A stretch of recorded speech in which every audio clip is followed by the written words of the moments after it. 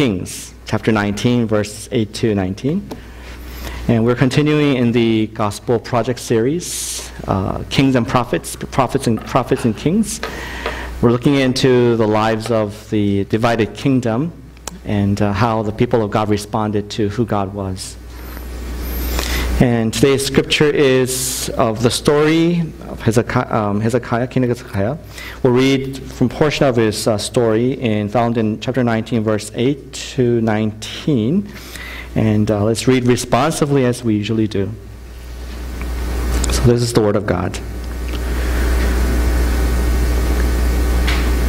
The Rabshakeh returned and found the king of Assyria fighting, fighting against Libnah for he heard that the king had left Lachish. Now the king heard concerning Tirhakah, the king of Behold, he has set out to fight against me. So he sent messengers against Hezekiah, saying, Thus shall you speak to Hezekiah, king of Judah. Do not let your God, in whom you trust, deceive you by promising the, that Jerusalem will not be given into the hand of the king of Assyria. Behold,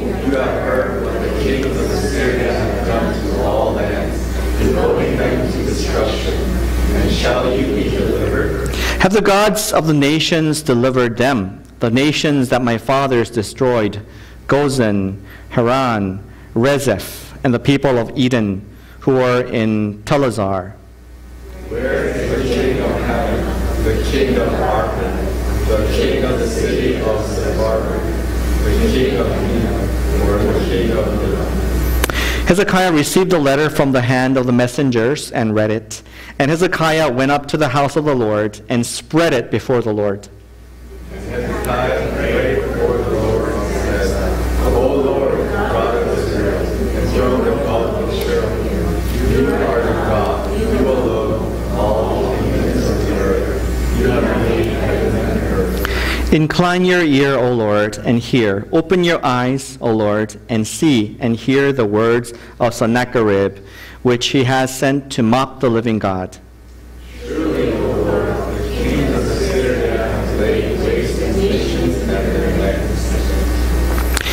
And together, and have cast their God into the fire, for they were not gods, but the work of men's hand, wood and stone. Therefore they were destroyed.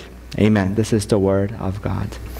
Uh, last year, when I was on a mission trip, more of a vision trip, to see the the land spiritually um, on the other side of the globe, um, I was intimidated, really. Whenever you go to a country where, you know, proselytizing, you know, uh, sharing your faith is illegal, it is always a little bit intimidating, and it was like that in that country, because uh, we were able to uh, look around and uh, see the spiritual condition with some missionaries, but we were forbidden to speak to any local Christian leaders uh, for a fear that uh, they might get, you know, some kind of punishment for having contact with foreign missionary or foreign people in general. So uh, I felt like being like a spy.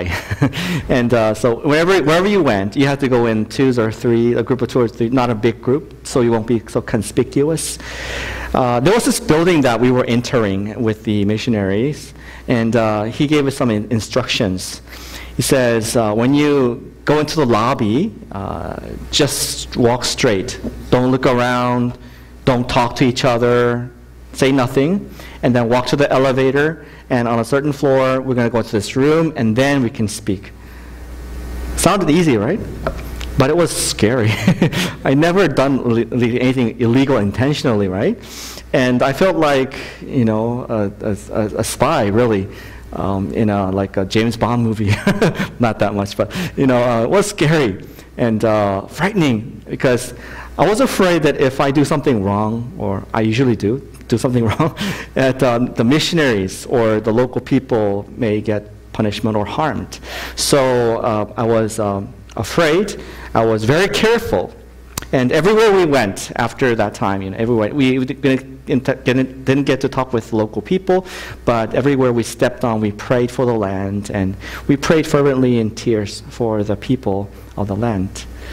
When where the government is, is has a grip on the country and where there is no religious, little religious freedom, and missionaries are being kicked out, it is difficult to um, you know to express your faith and truly praise the God that we love so much. And I felt like this truly is a spiritual battle.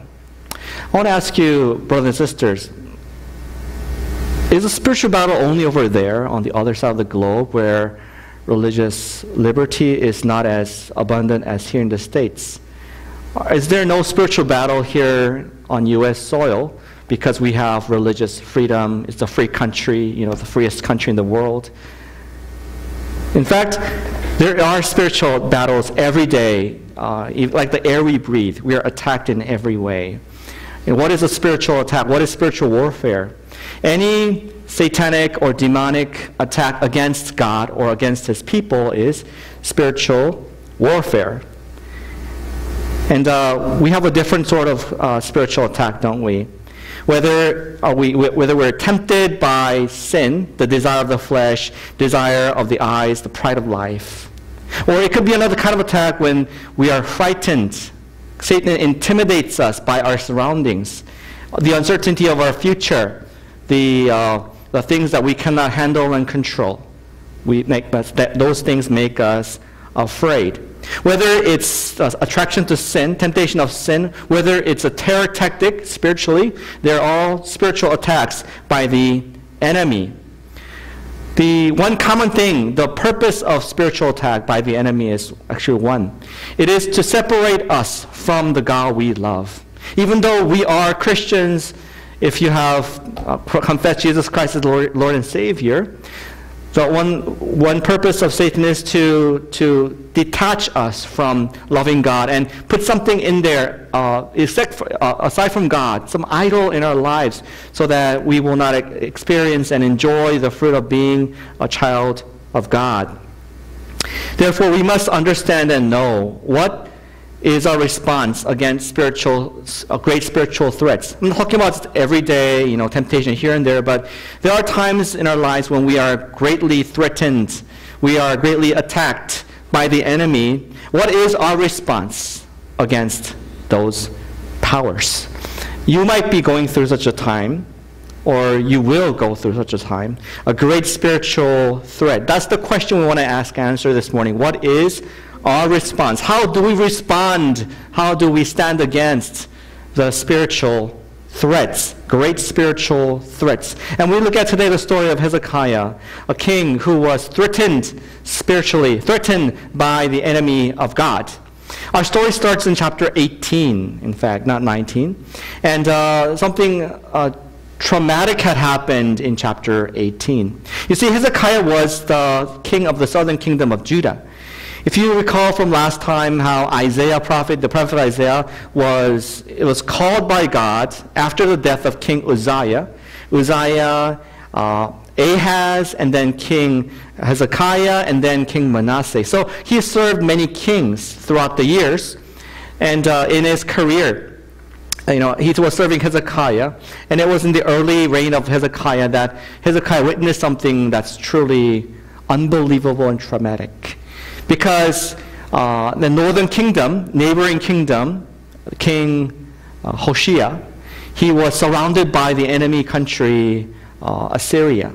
In fact, the Assyrians came with uh, tens and thousands of horses and chariots. They had these, these weapons of war, these battering, battering rams to destroy the, the city and the siege. They had a siege on the city of Samaria, the capital city of northern kingdom.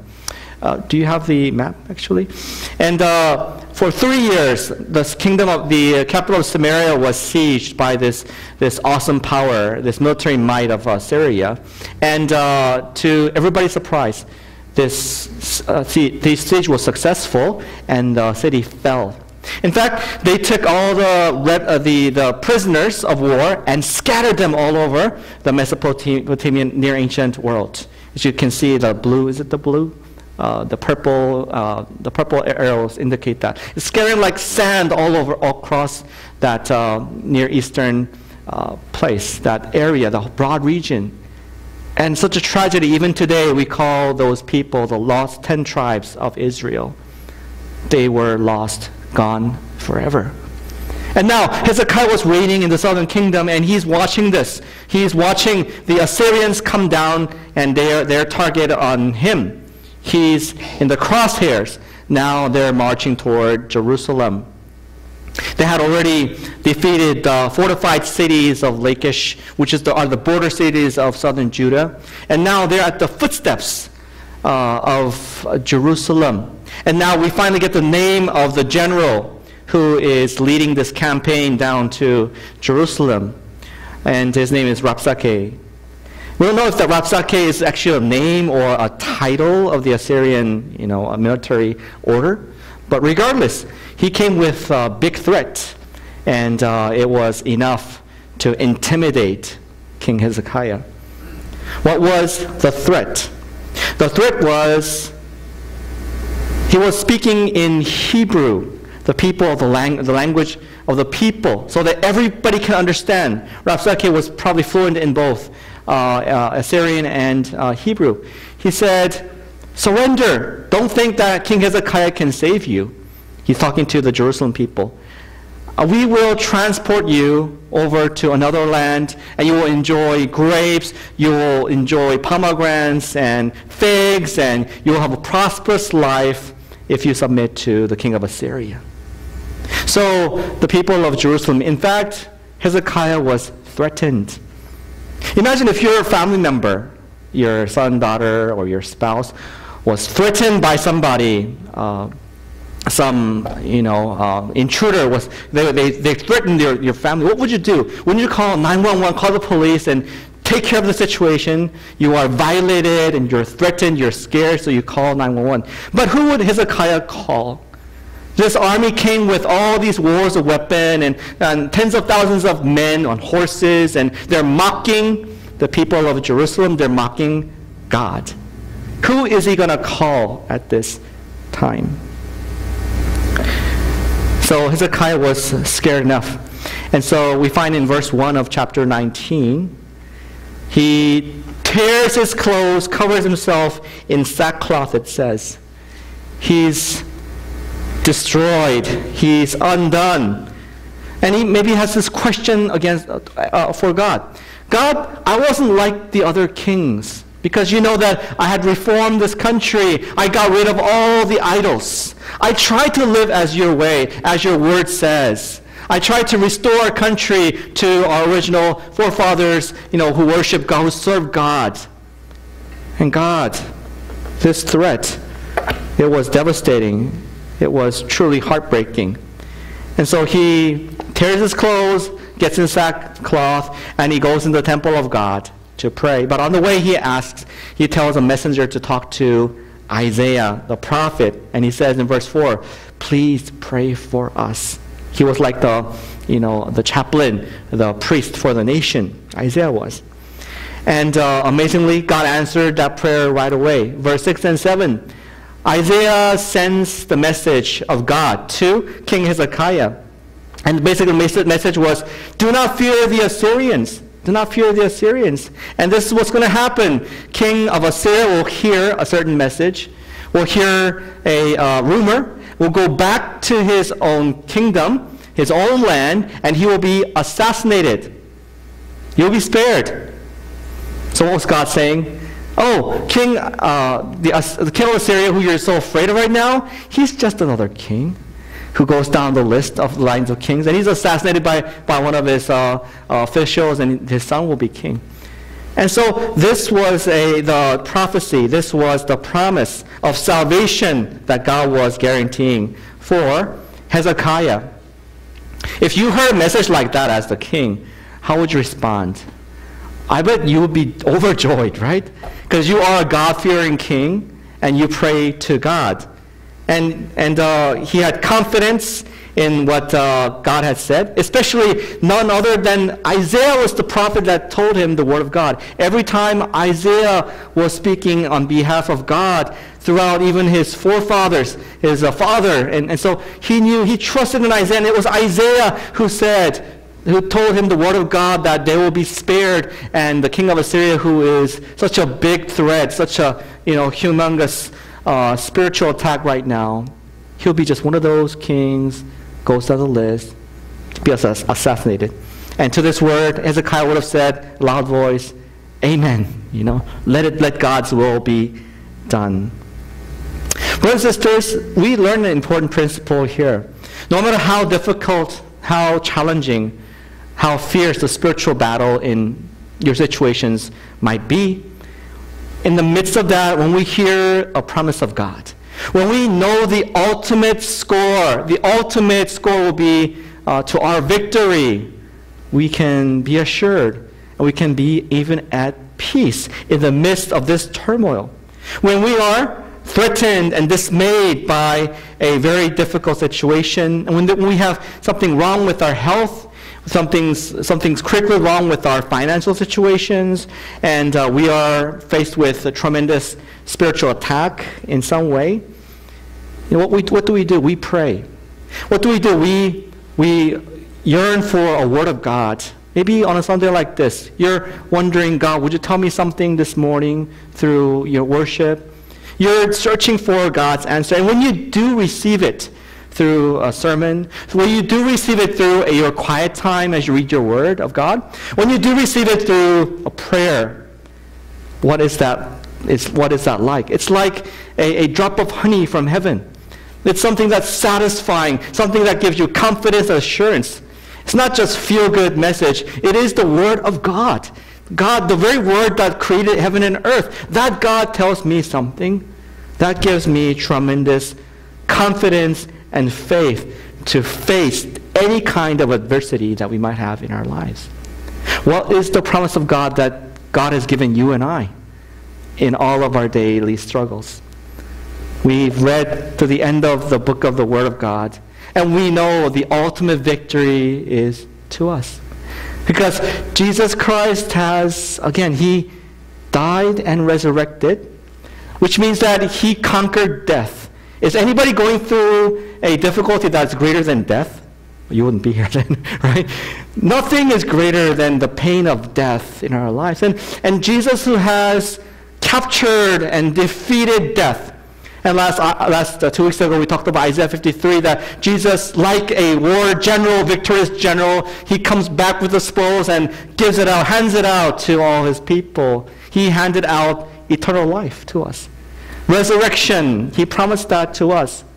So when we are reminded of the ultimate victory in Christ, ultimate promise that we have in the Lord Jesus Christ, we feel confident. We say, this will pass too. This spiritual attack this burden will also be one of those kings, assassinated kings. It might be a great threat to us right now. It might seem that way and might be fearful before our eyes. But in the bigger picture of God, as we trust the ultimate victory in Christ, found in Christ, we can stand against the attack. Even kids know this fact, right? When there's a prize when there's the ultimate victory promised for them, they can persevere. When my, when my son was smaller and little, I mean younger, um, you know, um, we made a little deal with him. And he said, I said, we told him, if you do not drink soda, like Coke, for a year, we'll give you $50, right? You gotta understand, $50 might not be that much to you right now, but for a kid who's young, who was receive 25 cents per chore, Getting $50 is like a million dollars, you know? And uh, we were surprised. We thought, you know, he's not going to be able to finish this. But was, was were we wrong? he was so adamant, he was so fixed to getting that $50, that treasure in his life, you know, fortune, that he actually didn't drink one sip of, of soda entire year. And he does drink a little bit right now, but uh, you know he, that habit kind of stuck with him, and he's really good at it because he knows there's a prize. The ultimate victory is his. Fifty dollars is his, and he can persevere the temptation of, of sugar water, right? For us, people of God, God has promised us ultimate victory in Jesus Christ. As we see that amazing gift, that life, every, anything we encounter today, any threat, of the enemy. It's nothing. It pales in compare to the glory that is promised to us. In fact, did you know that Jesus also, when he was fearing, facing the most difficult time of his life on this earth, that uh, he promised us peace? In John 16 33, let's read this verse together on the screen. Let's ready, read together. Ready, go. I have said these things to you, that in me you have peace. In the world you will, will have tribulation, but take heart, I have overcome the world. Jesus had tremendous peace, enough peace to spare to us saying that it was before the cross, right? this was the night of the before the night of crucifixion, and uh, he says, you know, I have overcome the world already in my Father, and I give you my peace. You will have, you will face tribulation, you will face spiritual attack in your life, but take heart. I give you this peace. When we trust in the ultimate victory in Christ, we can shout with Paul, in fact, saying, Death, where is your sting? Amen. We can shout with him and say, If God is for us, who can be against us? Who can be against us? Even angels, no demons can ever stand against the children of God. When we are reminded of the ultimate victory over death that Jesus Christ has given us, that eternal life is ours, we are uh, heirs of the heavenly kingdom, there's no difficulty, no mountain, no valley too high or deep that can uh, destroy or discourage us. This is the first principle as we focus our eyes on the ultimate prize, the ultimate victory we can overcome, we can stand against the daily struggles, the daily attacks today. Well, our story does not end there, right? Because uh, surprisingly, just like Isaiah said, something happens. Uh, Rabshakeh, he hears that his boss, who was in Lachish, the king of Assyria, his name is Sennacherib, Sennacherib, he was engaged in another battle, so they were moving the army. They were moving his men. So uh, Rabshakeh also followed his lord, his master king. But uh, not before sending this message to Hezekiah. And this, this message that Hezekiah received was powerful enough to instill deep terror and fear like never before into the heart of Hezekiah and his people. Because uh, Rabshakeh delivered, uh, hand-delivered a message, a letter from king of Assyria, Sennacherib to, mail to Hezekiah. In verses 10 to 13, we find what the content of this letter was. In short, the king of Assyria was saying, Hezekiah, don't deceive yourself. Don't be deceived. And think, and think uh, that your God can deliver you from my threat. And he states the facts, the difficult names that you've read this morning. The kings, where are they? Of all the nations, the gods that they serve, where are they? They have all been destroyed, wiped off the, planet, the face of the planet. And Hezekiah could not deny the actuality, the factualness of this letter. And uh, Assyria was, King of Assyria was basically saying that you will enjoy the same fate. You will have the same fate unless you surrender. So don't be so cozy. I'm going to come back. I'm going to destroy the city and I'm going to destroy your people. When Hezekiah received this letter, a mail to his name, uh, the, the tremendous pressure would have been amazing. Imagine if your company that you work for received a letter from the IRS saying that you know your country, your company violated something, and you have this heavy penalty on your company. And as an employee, you might be um, concerned. You know, do we have enough money to cover this? And do we need to change something in our practice that we do that uh, we've done an error? And so you're concerned. But then a few days later, you receive a letter from IRS in your name you know, your first name and your last name, saying that you have violated something and you owe the IRS uh, this big penalty.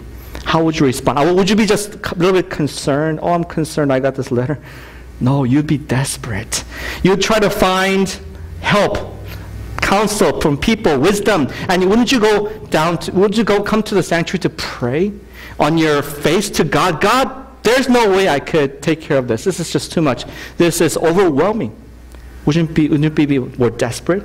And that's what Hezekiah, that's why Hezekiah responded the way that he did, we saw this morning. It wasn't just anxiety in his heart. It was, he was, he felt, was feeling that he was undone. There is no hope for him. He tore his clothes. He, wearing sackcloth, he was wearing sackcloth. And he was going to God. And he was very desperate. What did he do? As we read this morning, he spreads out the, the scroll, the letter that he received from uh, King Sennacherib. And uh, he prays to God in verse 16. He says, uh, I'll read from the New English translation. Pay attention, Lord, and hear. Open your eyes, Lord, and observe. Listen to the message of Sennacherib sent and how he taunts the living God. What is Hezekiah doing? He's making it personal to God. God, my name is on here. The threat is against me and my people, but God, you and I know that he is making threats against you, against the living God. Another important lesson that we learn here in times of great crisis is that we need to be able to be honest before God when we pray. Remember Hezekiah said amen. He was hopeful and he was faithful. He was confident in God. But after this letter, it all faded away. It was filled with fear. Maybe like us, you know, you say amen, you know, Jesus is my Lord and Savior this Sunday, and you praise God. Oh, happy day. We, we praise our Lord on Sunday. But as Monday comes, Tuesday comes, the weekdays come, and you're faced with that enemy again, reality, each day and your mind goes blank as you're uh, con- confronted with this reality, this threat that's really overwhelming you. What can you do? How can you stand against the threats, the spiritual threats in your life? We can stand against God, against these things like Hezekiah, we can be, we need to be honest in our prayers. Not those flowery, you know, uh, written down, you know, amazing prayers that you do. Those prayers are needed, you know, as a corporate prayer. But in a time of desperation, we pray for God's help uh, like never before.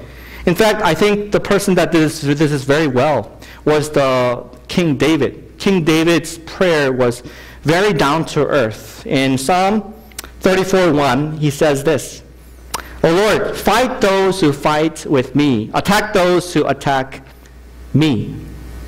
This was a, a, a very, you know, um, down-to-earth prayer. And it was, he was saying that, God, you are being attacked. It's not just about me. I am a person of God. You have assigned me to this task.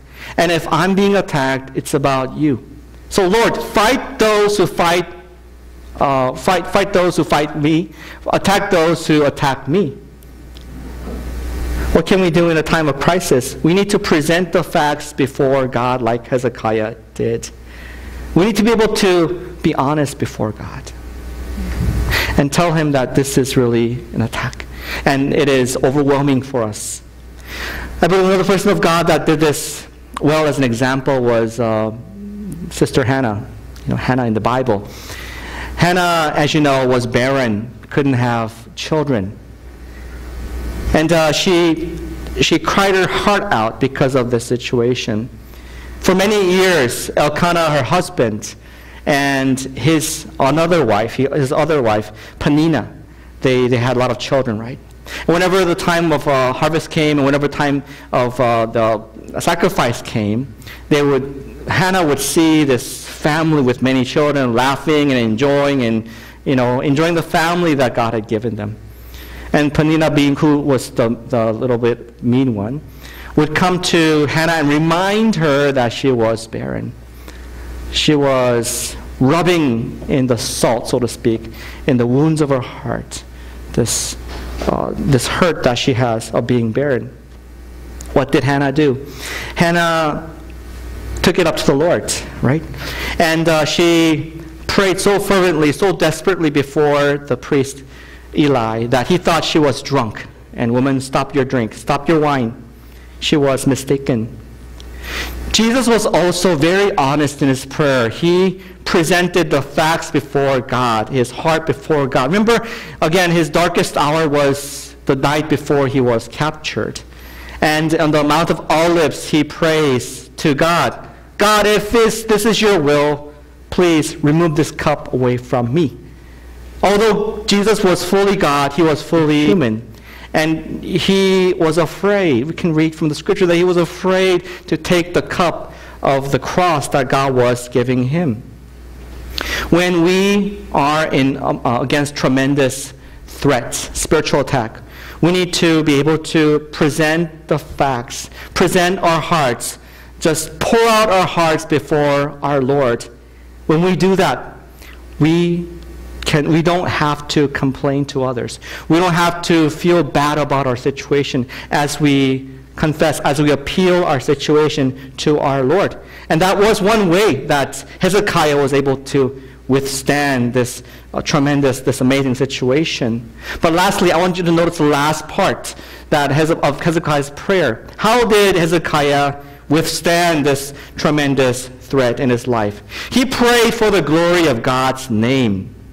Going back to verse 19, it says, Now, O Lord our God, rescue us from his power. He prayed, he, don't mistake, he prayed for rescue, he prayed for salvation, and look at the reason why. So that all the kingdoms of the earth will know that you, God, Lord, are the only living God. I slipped in that word living. He was looking at the other side. God, since this Sennacherib, this guy who wrote this letter, says he destroyed all the kingdoms, all the other false gods, they, yes, they're false gods. If you punish him, if you defeat this guy, if you save me and show that you are the God, all the nations will know that you are the true living God. Would you, God, do this for your name's sake, for your glory's sake? Not just for me, but this is all about you, God. That was the prayer of Hezekiah. In the heart of the prayer of Hezekiah was the uh, lifting up of God's honor and God's glory. He truly wanted God to be lifted up. Throughout the Bible, the one theme we constant, constantly see is God fighting for his own name's sake. Even in the Ten Commandments, the third commandment says, not take the Lord's name in vain. He was, he was always serious about his name. He, in fact, he was very careful, reserved, in even revealing his name to Moses. God is very particular. He cares much for the fame of his name. And so when Hezekiah was praying for your namesake, God, this is about you, God had to answer. Let's go back to Jesus. With Jesus, uh, again, his greatest spiritual attack was the cross. It was the time of the crucifixion, he, I want you to make, make you aware that he prayed for one thing among many. He prayed for the glory of God. Uh, let's read together one verse. Uh, John 17, verse 1. The first verse of this, uh, this priestly prayer of Jesus that he prayed the last before he was captured. Let's read it together.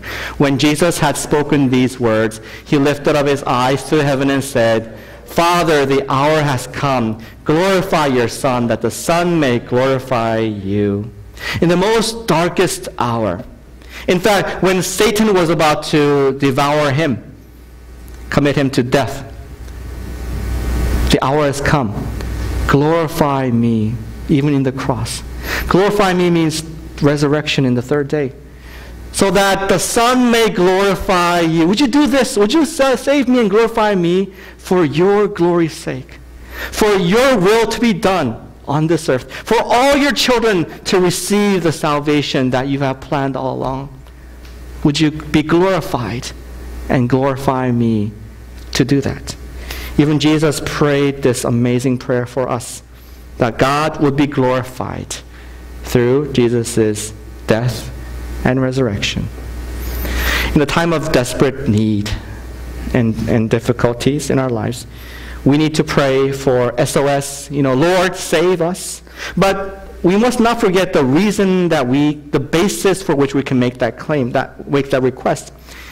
We need to pray for the glory of God. God, would you save me so that this would be glorifying of your name? This would glorify you. People know that I'm a Christian And your name is at stake here. At stake here. God, would you do this for your name's sake? This is the way that the Bible teaches us how to pray. Because when we exalt the groom, Jesus Christ, Jesus will exalt his bride, his bride, and she will be glorified as we glorify him. This is the faith that we seek, and this is the desperate and the great prayer that we need to practice. As I close, I want to mention this. I'm so thankful for many of the Christian corporations in the U.S. Um, and I mentioned these companies a couple of times before. Um, I don't know if you've heard of the company Hobby Lobby, and they are they are Christian from the founding principles, and uh, you know they support a lot of Christian ministry and they're doing very well in the South. and also, you've uh, you probably heard of uh, In-N-Out hamburgers, maybe, here in California. And uh, I don't know about the current situation, but you know they have these Bible verses. The founder was obviously wanting to, um, they, they wanted to promote Christian values. And the last company I want to mention is Chick-fil-A. You know, I didn't receive anything from them. You know, it's not a commercial. Uh, I just love them because they have this philosophy up front on their billboards. What, what does it say? It says closed on Sunday. You might not think much of that, but it is a founding principle that uh, S. Truett Cathy was uh, the founder, the CEO, who passed away a couple of years ago. He had it from the, from the beginning. Because he was saying, on this Lord's day, we will not do business. Any other day, we will serve the most delicious chicken sandwich to you. But on this Lord's day, we honor the Lord. You know, my family visited Atlanta, the headquarters, over the summer, as some of you know. And I walked into, we, they, they had this, you know, backstage tour kind of thing. And uh, we walked into the CEO, CEO, you know, Cathy's, Truett Cathy's room. And uh, I thought it was a pastor's office, really. you know, it was as if you know he just you know, left yesterday. He's going to come back to. It looked like that. I mean, it's so real. Everything was just as it was. And in the middle of it was, of course, the cow.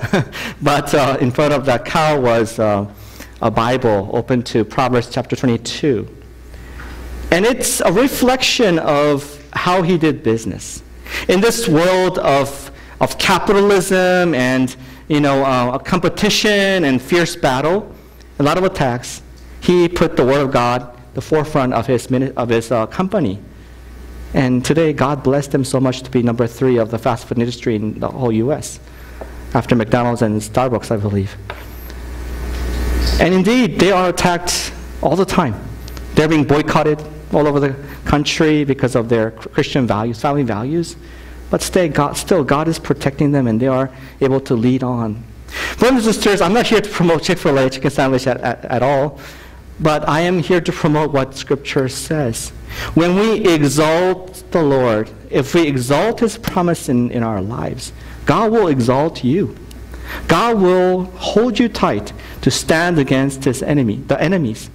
Because who's greater than God? No one is greater than God. No one can snatch us out of his hands. So, brothers and sisters, let us remember the prayer of Hezekiah, this, this desperate prayer of salvation, to be able to pray for the glory of God's name's sake, and to be able to present the facts before God, and also trusting in the ultimate victory of Jesus Christ. And as we do, no enemy is greater than us. Let's pray.